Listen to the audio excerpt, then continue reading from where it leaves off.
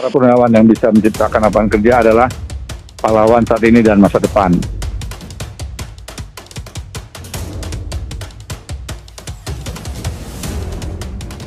Purnawirawan Secara etimologi, kata purnawirawan bisa dipilah menjadi tiga kata.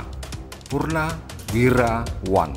Arti harfiahnya kurang lebih Purna selesai, wira pejuang, wan orang. Makna kata yang dikandung kurang lebih menjadi seorang pejuang yang sudah menyelesaikan tugasnya.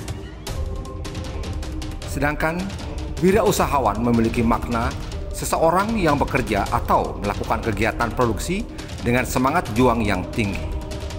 Pakar kewirausahawan asal Florida, Thomas W. Zimmerer mendefinisikan Wirausaha merupakan penerapan kreativitas dan inovasi dalam memecahkan berbagai permasalahan serta mampu memanfaatkannya menjadi peluang.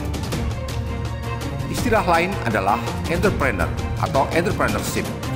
Entrepreneur adalah padanan dari wirausahawan, sementara entrepreneurship adalah spirit manusia dalam menanggapi dan memanfaatkan perubahan sebagai peluang. Purnawirawan sejatinya adalah teladan di tengah masyarakat. Purnawirawan harus tetap menyala agar menjadi inspirasi bagi bangsa.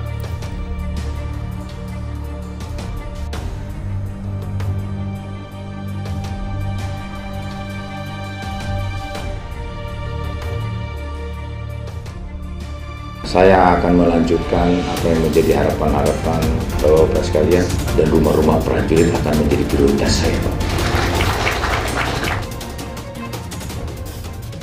VOC salah satu perusahaan milik uh, kolonial Hindia Belanda yang berada di wilayah Nusantara selama lebih dari 300 tahun sampai hari ini menjadi salah satu perusahaan terkaya di dunia dengan aset mencapai 7,9 triliun US dollar.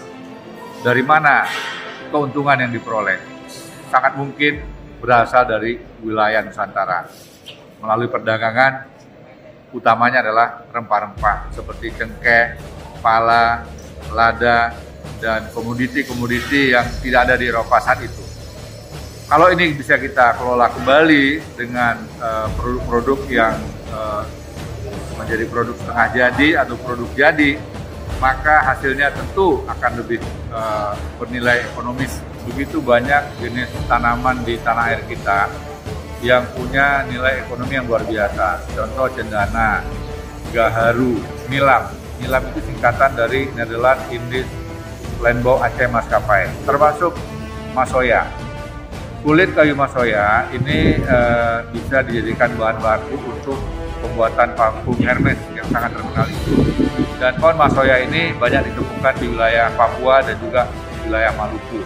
Nah, kalau ini kita budidayakan, saya yakin 6, 7, sampai 10 tahun yang akan datang, harusnya tidak ada orang yang miskin.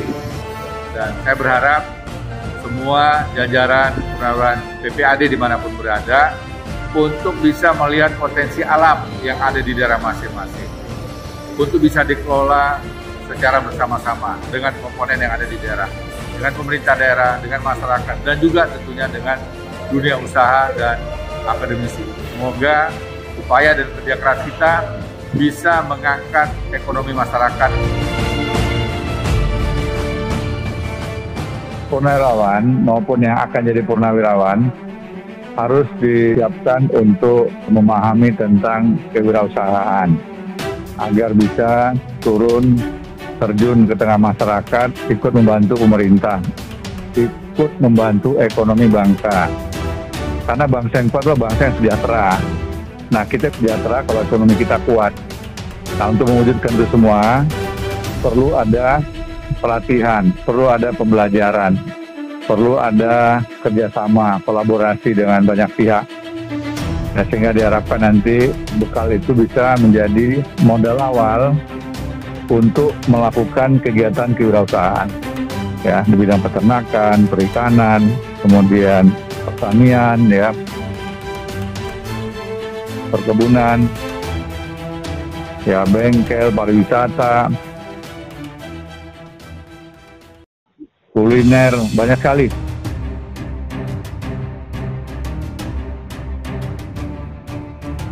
para purnawirawan yang bisa menciptakan lapangan kerja, sebagiannya dia adalah pahlawan-pahlawan yang mampu menyelamatkan ekonomi Indonesia.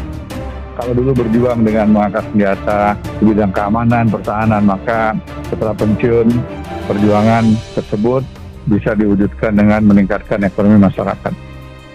Ya, saat ini kita tahu dalam kondisi bangsa kita eh, menghadapi pandemi COVID, diharapkan para penerawan bisa menjadi bagian yang tidak terpisahkan dari program pemerintah dalam menggerakkan ekonomi masyarakat.